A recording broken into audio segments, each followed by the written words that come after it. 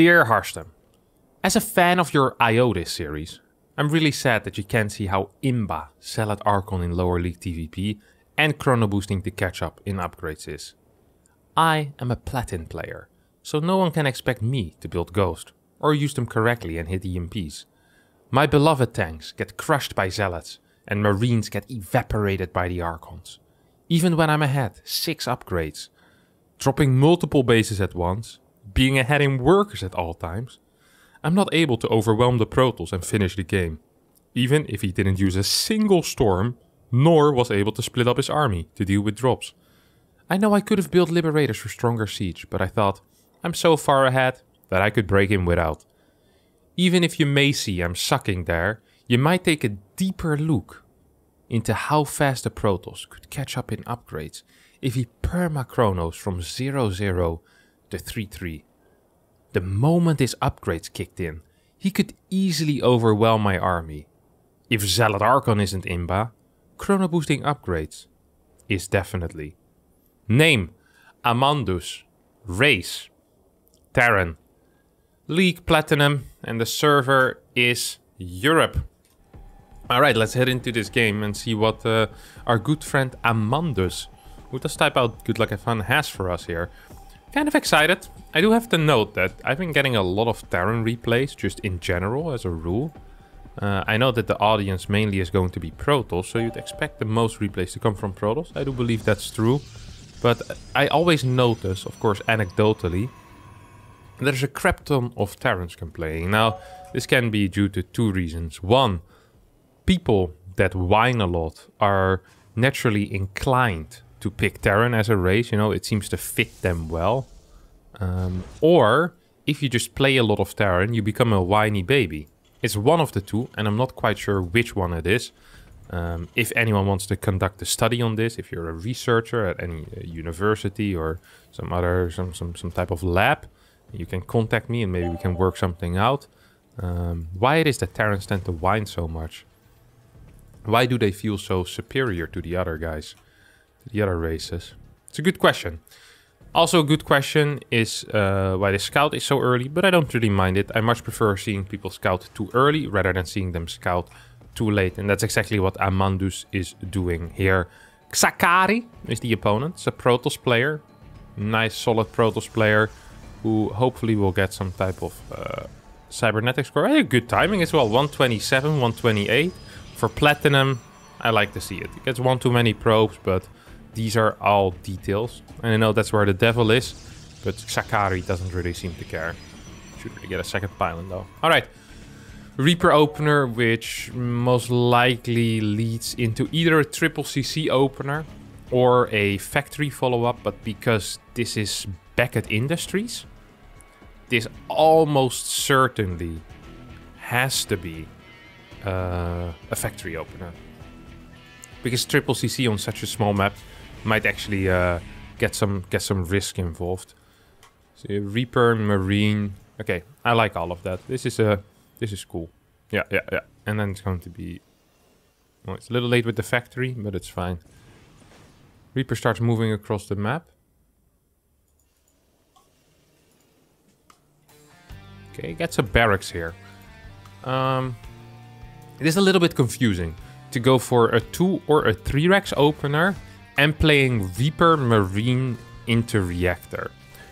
And I can explain why this is confusing as well. So whenever you open with a 3 Rax or a 2 Rax, one of the main factors on deciding how successful that attack is going to be is the number of units, as is the case with most attacks, right? The reactor is such an important part of getting out as many marines as you can, that building a Reaper and a Marine pre-reactor is just really bad. We never, almost never see someone play 3 Rax with a Reaper first. And the reason for that is because a Reaper takes, I think it's 36 seconds, which is double the time of a Marine. So a Reaper ruins two entire Marine cycles. If those Marine cycles were done with a reactor, that could be four Marines. Adding another Marine before the reactor ruins another potential one marine because that could have been two reactor marines at the same time. So getting a reaper and a marine before the reactor does lowers the amount by 5 Marines. Uh, and you do get a Reaper as a free bonus, but the Reaper is completely useless in the push. So technically you're just down 5 Marines compared to a Reactor first. And you're down 4 Marines compared to a Marine into Reactor. This is obviously not good if your goal is to hit as hard and as fast as possible which you can, uh, with as many barracks units as well. Uh, it just means that your push is going to be a lot weaker. The Reaper also, not just at lower level, but in general, tends to not provide too much value in these situations when it comes um, to the scouting. We see he saw two stalkers, saw a third base timing, but no tech whatsoever. So really isn't aware of too much of, of what's kicking off here. As uh, Armandus also is doing some interesting cuts here in his worker production. I haven't quite seen that yet at the high level, but maybe that's a, uh, as we call it, a, a, a bottom-up trend. So this is something that gets popular with the plebs and then the elite takes over. It is possible that in a year from now we will see Terrans make random cuts in their SCV production, but it's also possible that Amandus just forgot to build a couple of SCVs. He's still doing fine worker-wise because his opponent probably also forgot to build workers a couple of times. This is just, uh, you know, this is just what happens at the lower level, at the platinum level. That's completely fine. I don't mind that too much there is some some definitely some ideas going on here. You know, we can see that Amandus had some thoughts uh, about how to play 3-Rax into eBay, that type of stuff. He's floating 350 gas at this point, so we also know that this builder isn't tight. We also can see that by the timing at which he's hitting. I mean, this type of stuff is supposed to hit at the 450, 455. Um, with a similar army, he's hitting about, well, 3 minutes too, uh, sorry, 30 seconds too late um, with this army still should be capable of taking out this barracks, or this barracks, should be capable of taking out this nexus here. Um, Stims starts trying to fight with these stocks. I like how he microed that, kind of pushed that army away, and now this goes for this nexus.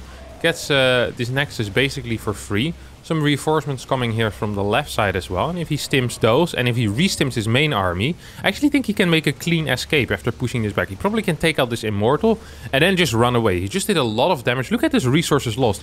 1275 against 500. This is a really bad call. There's a battery here. Okay, this was a really good trade until he started losing all of his units. He actually was up like, I think like 800 resources or so, 700 in the resources lost, and now he's down 300. And this is something that I often see at lower levels, is where people, they don't understand when they need to piss off. Just leave. At some point you need to go home and be happy with what you've done, you know? It's like it's like the people that always stay till till the end of the party, and you all know what happens at the end of the party. You either get raided by the police or you need to help cleaning up. You need to know when to leave before helping clean up at a party. It's the same with StarCraft 2. Well, in StarCraft 2, the difference is that you are the one that gets cleaned up. But here he did fantastic damage, killed a Nexus, sniped an Immortal, killed like two Stalkers as well. If he just would have gone home, life would have been perfect okay? Would have had a large bio army sitting at home. This resources lost would have been heavily in his favor by like 5 600 minerals. And that initial trade would have been great. Sadly, however, that isn't quite what happened. And instead he lost his entire army.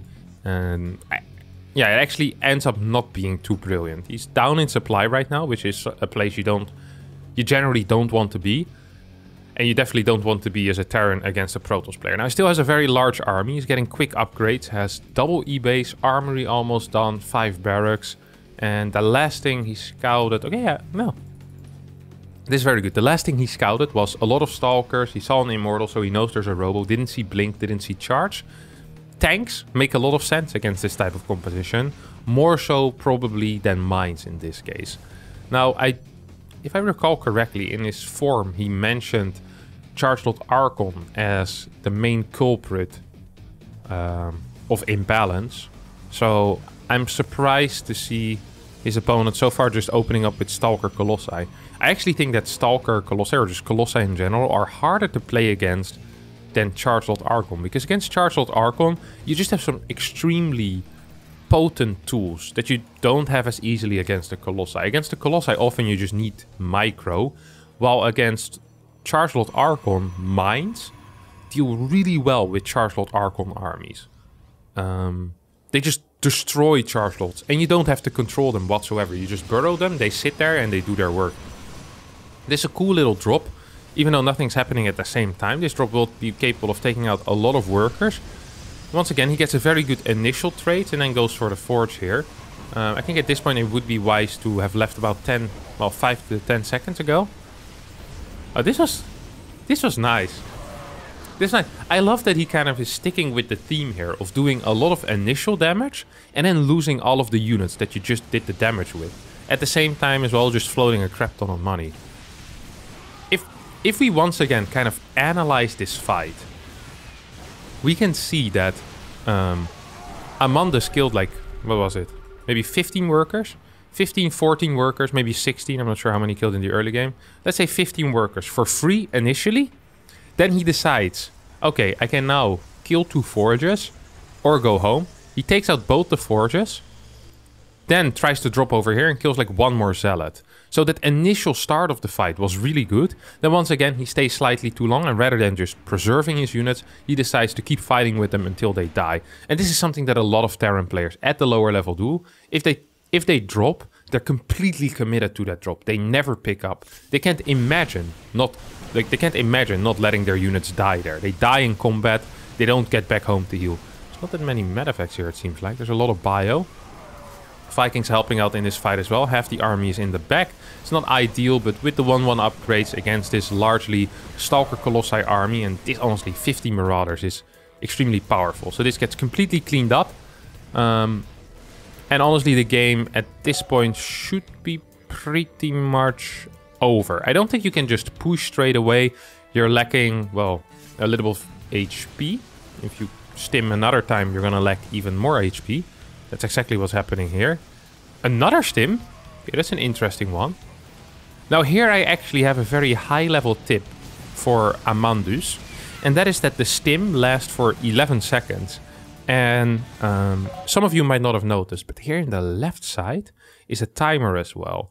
So if you click stim, you can then look at the timer and you can just count with it. You know, you go like one, two, three, four, all the way up to 11, and then you press the next stim. You don't have to press stim every three seconds. It doesn't stack. Stim does not stack. I know some people do believe that, but you can only use it once at a time.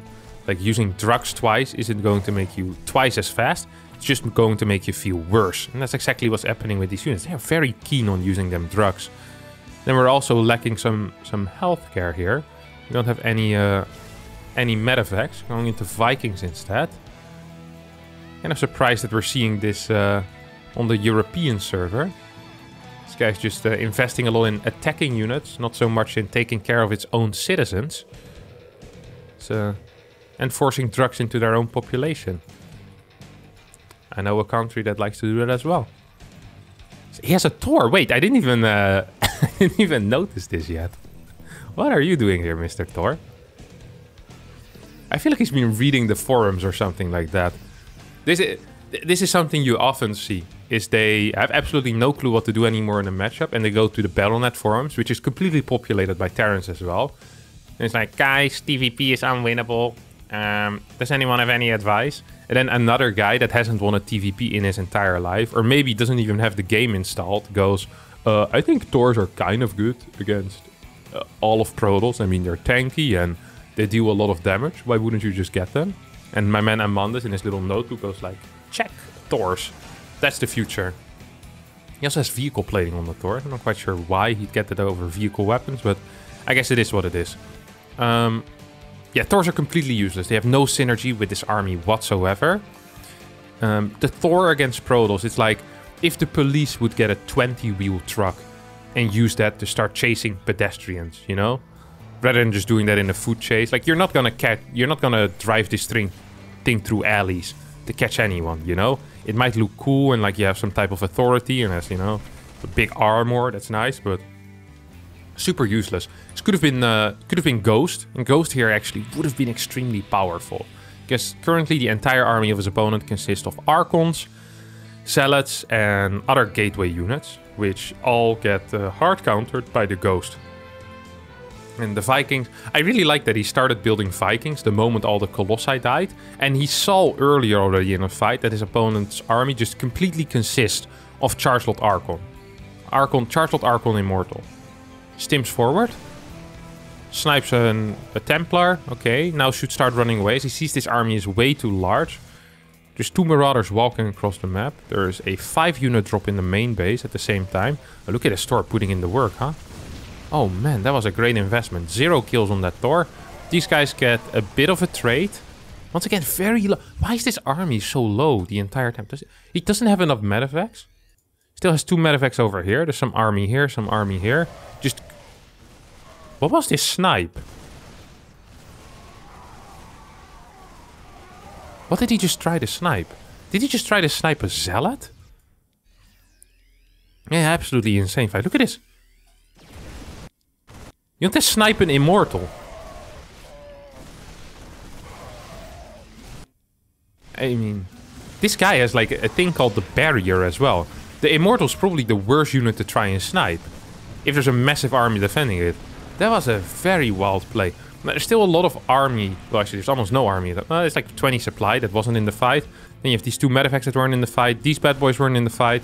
This is dropping. So, actually, the army supply here for Amandus wasn't that large. And although he's up four upgrades, if your army is just half the size of your opponent, and they also have units that kind of counter yours, usually you're still going to end up losing. That's just a fact. I'm also pretty disappointed. Oh my god. This is not going to be a good fight for the Protoss, is it? No. This absolutely is not going to be a good fight for the Protoss. Look at this. This is what upgrades can do. This is six upgrades ahead. Look at that. Absolutely disappeared. If Amandus is spending, would spend any of his money right here, he would absolutely destroy this. Like this drop also did so much. This guy has 10 kills. 10 kills. 10 kills on a Marauder, 7 on a Marine. Like they're owning right now. They're absolutely owning. Fort base down. Ghost would be really a great choice to go for, okay? I I understand that Ghost... Well, actually, they're not even that difficult to use. If you research the enhanced shockwave on the Ghost, you can literally click anywhere on the screen and you're going to hit it. You will hit your EMP. It's impossible to miss because the radius is like half the screen, honestly. If you get two Ghosts, you can cover the entire screen. You get four, you can cover the entire screen twice. You get six, well, you get the you get the gist of it. Ghost actually hard counter the Archon, okay? The Archon is a unit that consists of 350 shields and 10 real HP. 10! There's like an SCV could walk up to him and knock him out, okay? That is that is the type of HP we're talking about. If you get Ghost against this unit, this is a 300 gas unit. Imagine investing 300 gas in a unit and it just disappearing because there's a guy with a sniper rifle throwing a, an electromagnetic pulse at your face. Like, honestly, the Ghost is the ultimate counter. And I don't understand why all these low-level Terrans think it's so difficult to use. They all complain about Storm, but yet they're incapable of using a Ghost. How does that... I don't understand the, the logic there, but maybe I'm the one that's missing something. I also like that he has a huge army, 2k in the bank, and he's up for upgrades, and doesn't decide to fight whatsoever. Um, that's obviously also a mistake. Really should add more medevacs as well. Look at this. He, well, he, he, really only has three medevacs that are currently active, and there's a huge bioforce. Huge, huge bioforce. Also, I want to actually touch upon the upgrades. So, we've we've so far really just talked about the Chargelot Archon, which was the the main thing that Amandus was talking about initially, and he kind of threw the upgrades in there as a what if, you know? That that is like the the, the people that that are still trying to deny something and then go like even if it was true that i uh, you know that i that i pushed your little uh, doll from the building and destroyed it it probably you know i probably had a good reason for it. That's that's the type of thing that he said in the IODIS forum basically. He was like you know, even even if the Chargelot Archon isn't in, my, even if there are good counters in the mine and the ghost, and I just didn't use them, or I didn't control my army the entire game, and I didn't, you know, I overstimmed my army every single time because I didn't have any medevacs, and I like pressing the T button very much. Even if that is the case, then we still have the upgrades. Now, let's get into the upgrades. Is it actually true? With the Protoss upgrades, there is a funny thing that Terrans always seem to forget when they make these weird comparisons, and that is that Protoss actually has three upgrades. Not only do they have the armor and the attack, they also require shield upgrades to completely, you know, fulfill their, their upgrade thing. Their units, all of them have like freaking half or like a, a decent size, a decent chunk of shield, and then a decent chunk of HP as well. The Star Wars 80-80, the Zealot has like 50 shields. Now, of course, Terrans usually forget about this because majority of them understand that if you use a ghost, the shield upgrades are completely useless. But this is still something you need. And uh, there's another thing here is that if Chrono Boost isn't being used, even just going up to 3-3 takes longer for the Protoss than it takes for the Terran. Only with permanent Chrono Boost usage, or I think if you use 8 or 9 Chrono Boost, you're going to be faster than the Terran. Um, no, sorry, if you use like 5 Chrono Boost, maybe you're going to be faster than the Terran. Um, but if that's not the case, then the Terran actually has faster upgrades. So we need to spend a lot of energy into this as Protoss. We have more upgrades, and even if we perma Chrono, if we want to get the shield upgrades, the attack upgrades and the armor upgrades, it is still taking longer than what the, the Terran counterpart does. So that claim is just absolutely false. It makes no sense. You can get individual upgrades faster, but getting to a completely upgraded Protoss army is just slower. These are facts. You can you can do the math yourself. You can do your own research here, Amandus, and you would have figured it out, okay? You absolutely would have figured that out. You're a smart feller. Well, you're a person with a brain. I oh.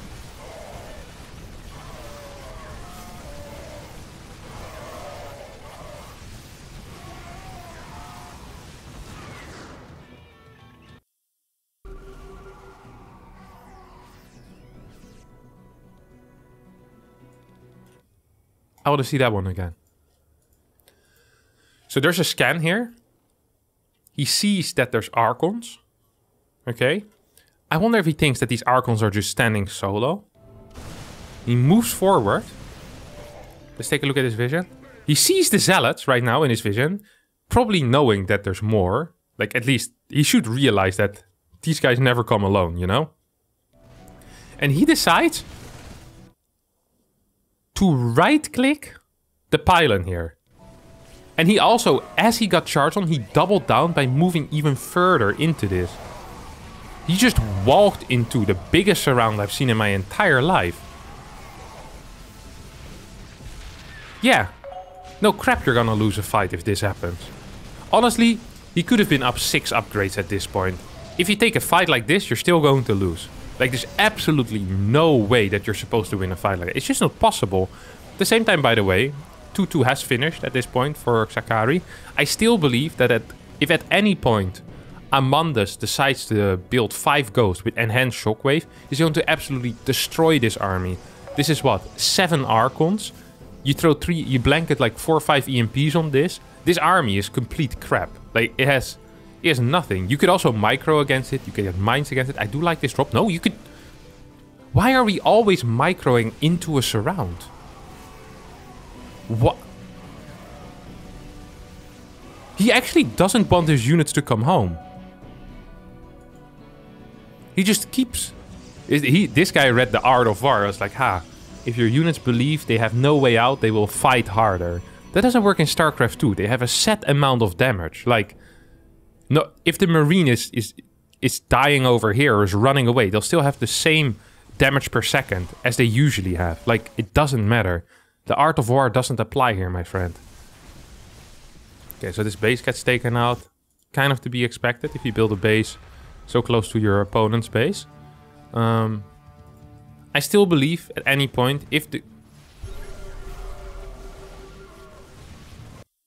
How does he do these fights? I just don't understand it. I want to see this one again. Look at this. So, he has this huge army. He just saw the army as well, okay? It's not like he's not aware. He just literally saw his base die. 12 SCVs went down. He decides to go and he has two medevacs that are going back home for whatever reason. He stims forward, goes into the bushes. He's like, "Ham, I have no... He knows! He sees with the sensor tower that there's units behind this. This can't even be a surprise. He walks in, he scans, walks out, and uses the second stim at the same time while sending the medevacs into their death. I honestly couldn't have made a worse scenario for him if I would have tried. Like, he did everything wrong there. That's like 10 out of 10 on the idiot skill. Like, congratulations. You messed it all up. Another stim. He just keeps stimming. Like, the, the opponent doesn't even need to use disruptors or AoE. This guy's just killing his own units. Like, consistently. He did second stim. That was two seconds. He just stimmed twice in two seconds. This is the most stim-happy tech. I don't think a single disruptor shot has hit any of the opponent's units, by the way. That is something as well, huh? That really is something. And I can understand why that is frustrating for Terran. See the other guy con consistently hitting his own units with the disruptor. But if you think ghosts are difficult to use, my friend, you should you should hear about the disruptor. Because this ball needs manual control. You can't you can't even just click it once. Well you can, but it's basically like a bad EMP in that case. It's actually ridiculous. I can't believe how hard Amandus got owned in this game after being so far up. Just because he's... He's literally just been building Marine Marauder. Usually there's Medevacs, but he didn't even build a Medevac. Just legit. Marine Marauder. He stopped building tanks as well. I would... Honestly, tanks weren't great, but I still would have preferred having some type of factory units over having nothing. Mines would have been pretty useful against uh, at least the Chargelot Archon, as I doubt Xakari would have been capable of hitting a mine with any of these disruptors. Ghost Academy could have been very, very, very powerful as well. A, a, good call, perhaps, if your opponent's army consists entirely of gateway units and like nine Archons. Ten Archons! And this is this is another Terran here on a little bit of copium, you know? This He doesn't quite understand that the game is over. You, you always gotta kind of think back, put this in perspective. Amandus at one point was up 30 supply and 6 upgrades, and he didn't manage to win the game at this point. Right now, he's down 110 supply and even upgrades. And now all of a sudden, he still believes. Like, if you didn't... Like, it, we saw what happened before with that lead. He couldn't kill anyone, and now he, for whatever reasons, without... He's getting two ghosts. I thought they'll even leave the barracks. Like, he'll be dead before they leave the barracks. Disho? Good disruptor shot to end with as well. Do we get to see one leave or no? Will they see the light of day? Damn, should have built Ghost earlier. Yeah. Yeah, you should have. How is it possible that you make the complete correct analysis already at the end of this game and then after your moment of brilliance at the end of the game, you decide to write up this, this entire post complaining about Zealot Archon, which is literally countered by the ghost. I don't understand that. But all right, let's let's think about this game a little bit, okay? When it, when it came when it came to the macro, I think your macro was was decent. You floated a fair amount at times, but your setup was was absolutely fine. I mean, you had your your five barracks, double eBay type of stuff. I, I really did like that. I think it was good and um, your eh, like details went wrong. Every single, the, all the details were wrong. Okay, um, the devil is in the details, and I have some good news for you. You will never meet the devil because you don't know anything about details. The entire early game is kind of weird, and then you know the second eBay too early. Your starport was late. Eh, all that type of stuff. It it doesn't matter too much. You just it's fine. I was okay with your macro for your level. It's, it's good, good enough, good enough. You know, you should be capable of winning games with this. You can get up six upgrades and like 20, 30 supply. It should be no problem. Then you mentioned in your form, what was it that you said? Dropping multiple bases at once. This didn't happen. Like, this is actually just a flat out lie. You dropped the main base multiple times. One time, two Marauders didn't enter your two medevacs, and they, they walked into the natural. That is not dropping multiple bases at the same time. That is accidentally multitasking. Don't make that bigger than it is. Like, the reason why he said this is because he saw like multiple red things on the minimap. He's like, oh, I'm dropping multiple bases. Eh, it's not what happened. You know it. I know it. Everyone knows it. So, for the multitasking, honestly, you're gonna get a... Uh, eh, because whenever you multitask, you did start floating a fair amount. And the control also wasn't that good. It wasn't yeah, you just stim. You stimmed a lot. You stimmed a lot. Then we get to the two points where I think you really lost the game. One being the army composition. You never added any mines, you never added ghosts. you didn't add uh, liberators either. Um, you also got vehicle plating, that's separate, but please don't do that again. Either get ship weapons or vehicle weapons if you really want a lot of tanks. Um, but otherwise just get ship weapons and get liberators out eventually. Don't, don't get plating. Your army comp really did suck. You need ghost, you need mines. Uh, these units kind of micro themselves. You need way more medevacs in your army.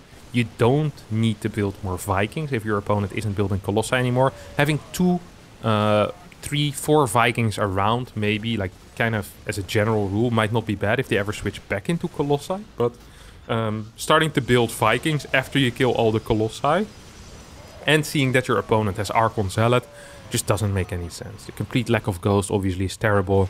Complete lack of Mines doesn't help you either. So for that, it's a... Uh, then the final thing is honestly the micro. It was painful to watch at times it was uh, basically torture. If if if the CIA ever sees this game and they start showing this type of footage to the people they detain, they'll start talking real fast because it was awful to watch. Just walking into surrounds, stimming three four times in in, in mere seconds. Like, I don't even understand quite how this is possible. Um, I honestly wouldn't mind if you would unbind the stim hotkey. I understand that stim has a lot of advantages, and mainly the, the damage output, but you use it so much that overall it might just be better to not use it at all. Just use slow marines and marauders. I yeah, I've, I've never seen something like this. It, it really was quite bad. Also, stop trying to do for go for fancy snipes on immortals. I'm not quite sure what that was. Just kite back, burrow mines, and use EMP. It really isn't that hard, Terran players. It really isn't. No matter how much you believe that your race is so micro heavy. So for that, you also get a, a big uh, thumbs down. Put that all together. And you, my friend, do suck. And you suck real hard. All right. That's going to be it for today's episode of Is It Imba or Do I Suck? Where we deliver another suck stamp to our good friend Amandus. Uh, if you did enjoy, don't forget to hit the like button, subscribe to the channel, and hopefully I'll see all of you next time for a new video. Um, yeah, bye bye.